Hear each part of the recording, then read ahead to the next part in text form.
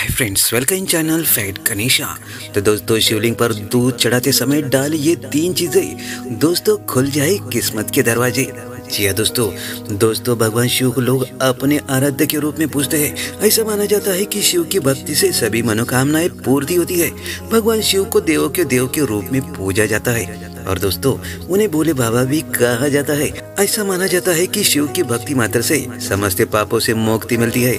यह भगवान शिव की भक्ति और उन्हें शिवलिंग पर कुछ चीज़ें चढ़ाने से विशेष लाभ की प्राप्ति होती है। तो चलिए जानते दोस्तों दूध के साथ ऐसी कौन सी चीज़ें हैं जिसे चढ़ाने से दोस्तों आपकी किस्मत के दरवाजे खुल जाते हैं? तो दोस्तों, ये जानने से पहले मेरे चैनल को सब्सक्राइब अवश्य करें। बेल आइकन प्रेस करके ऑल बटन पर क्लिक ज़रूर करें।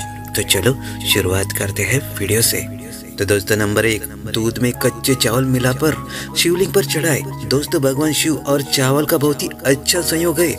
शिव पुराण में लिखा है, जो भगवान शिव को चावल अर्पित करते हैं, उनकी सभी मनोकामनाएँ पूर्ण होती है।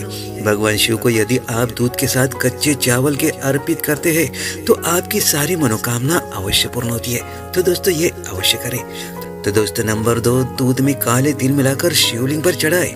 दोस्तों, तिल सबसे पुरानी, तिलन फ़सलों में से एक है। हिंदू संस्कृति में तिल को बहुत ही पवित्र माना जाता है और इसे एक प्रमुख पूजन सामग्री के रूप में भी माना जाता है। तिल दो प्रकार के होते हैं, काले तिल और सफ़ेद तिल। खास तौर पर जब बात काले तिल की आती है, तब इसे पूजा की एक पवित्र सामग्री माना जाता है और कई जगह पर काले तिल भगवान शिव के प्रसाद के रूप में वितरित किए जाते हैं। दोस्तों, वही काले तिल यदि दूध में मिलाकर भगवान शिव को अर्पित किया जाए तो ये आपके जीवन में सुख समृद्धि लाता है। खास तौर से दोस्तों सोमवार या सावन सोमवार के महीने में दूध में काले तिल मिलाकर शिवलिंग पर चढ़ाने से आपकी सारी मनोकामनाएँ पूर्ण हो जाती है और सारी परेशानी दूर होती है।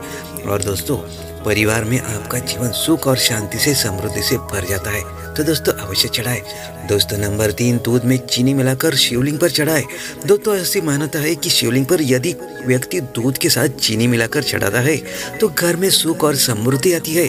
यदि कोई व्यक्ति सावन या प्रत्येक सोमवार को दूध के साथ चीनी मिलाकर शिवलिंग पर अर्पित करता है तो उसकी सारी मनोकामनाएँ अवश्य पूर्ण होती है। दूध और चीनी का मिश्रण चंद्रमा का कारक माना जाता है, इसलिए शिवलिंग पर यह मिश्रण चढ़ाने से चंद्रमा भी मज़बूत हो जाती है और जिससे पापों से मुक्ति मिलती है। तो दोस्तों, ये खास उपाय, यानी कि तीन चीज़ें अवश्य चढ़ाए।